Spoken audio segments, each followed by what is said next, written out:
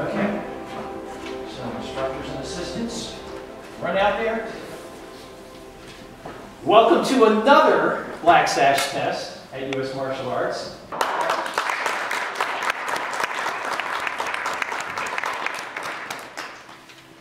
They are here to show you that they're worthy of getting their first degree Black Sash. Okay, and they've already shown me that they have, that they are, but they got to prove it to you now. All right, so everyone file off. Go ahead, get out of here. We started almost 25 years ago when our son was five and our daughter was eight. Our son had basically motor skill issues. He would trip over his own feet. And we had him evaluated, and the doctor recommended that we get him involved in an activity that would help him learn how to use his body. She actually suggested martial arts. And the person that who is now our head Tai Chi instructor, Mr. Jeff, I was working with him, he did Kung Fu. So of course I asked him first what he would recommend. And he said, oh, you got to try over this place, U.S. Martial Arts Academy. They specialize in kids. So we went over there, liked it, and eventually our daughter, our eight-year-old daughter, wanted to do it too. So I was going to be there four times a week in classes, and I wasn't going to sit in the audience, so I started taking lessons.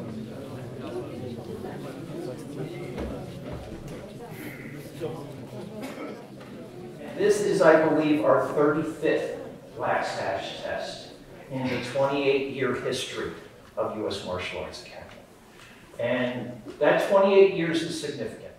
We are, without a doubt, in this area, the longest running school in this area by more than double.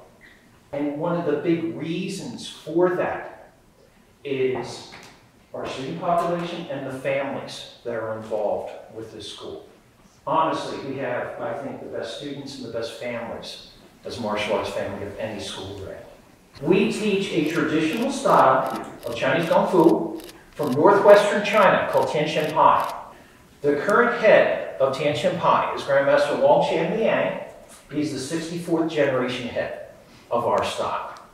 I've had the privilege of being his direct student since 1998. And he's taught me forms before I got my black sash to where I am now.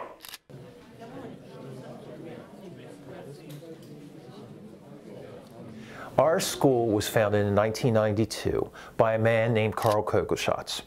Mr. Carl, as he was known, was a world-class competitor and fighter in martial arts. It was his vision to start a school that was different from other types of schools.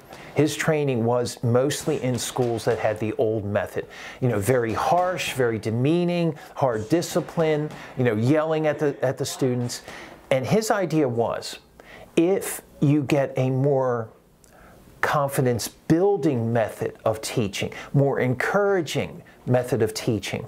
You can pull into your, your classes the people that can get the most benefit from martial arts, which is improved motor skills, improved confidence in themselves. Those type of people that need that, they're not coordinated, they're not confident, they're not outgoing. They're pushed away from the old style of teaching. So Mr. Carl said, if we put a lot of instructors out on the floor and we make it so that we have a lot of eyes, ears, and hands to help people, not yell at the students, make it enjoyable and encourage them, make the classes interesting, then you will keep them and keep them as students, which is good for a business model, and also for the students themselves.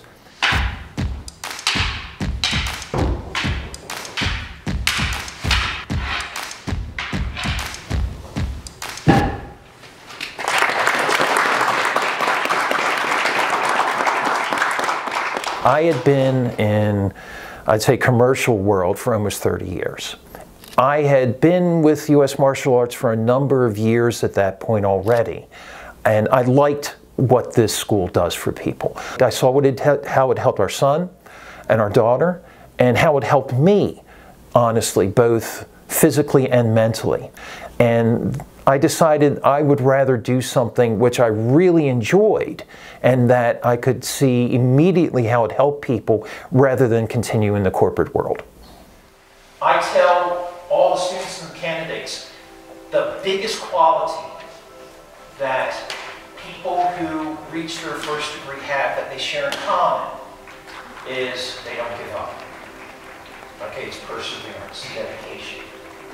We have a whole range of abilities here, but one of the big things is you keep trying, you never give up. So our three newest black sashes.